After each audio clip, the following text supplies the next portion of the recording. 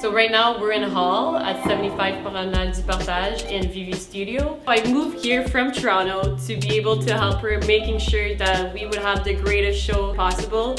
There was a lot of laughter, a lot of inside joke. It's always a fun time to be working here. I'm really excited for the show and I'm really excited to be backstage and I'm sure everything's gonna go really well. Well now everything's in the car so we're ready to go. I'm with Genevieve right now and everything's packed up so we're gonna go head to Fashion Week. Woohoo! Yay! Sometimes it seems the going is just too rough, and things go wrong no matter what I do. Now and then it feels like life is just too much. You got the love I need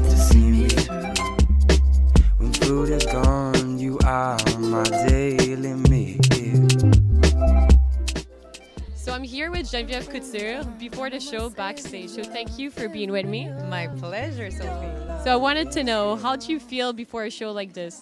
Well, I feel uh, exhausted, but I'm very excited. There's a lot going on right here, and uh, it's inspiring, exciting. Everything comes to an end and a new beginning today. So, woohoo! Could you tell me about the hair and makeup look you're going for? We're going for um, the look. Actually, is uh, Eastern European gypsies, and we're gonna play with uh, the grunge look and the tribal look. So for the hair, we're looking for something grungy, dreads, uh, uh, braids, and very poofy hair.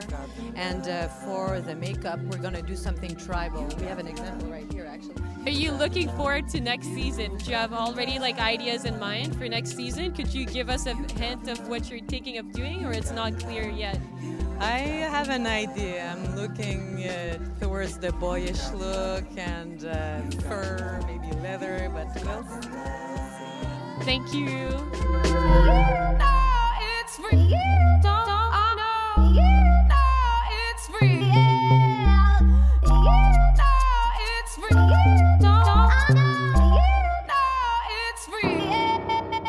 Here with one of our models that's modeling for Vivi. So how are you feeling? Are you nervous for the show? A little bit. It's my first time, so I'm excited though. I'm sure you'll be great. So as we can see, we're putting a lot of extensions in Jessica's hair, so she'll look like a hippie rock star. Thank you. You're welcome.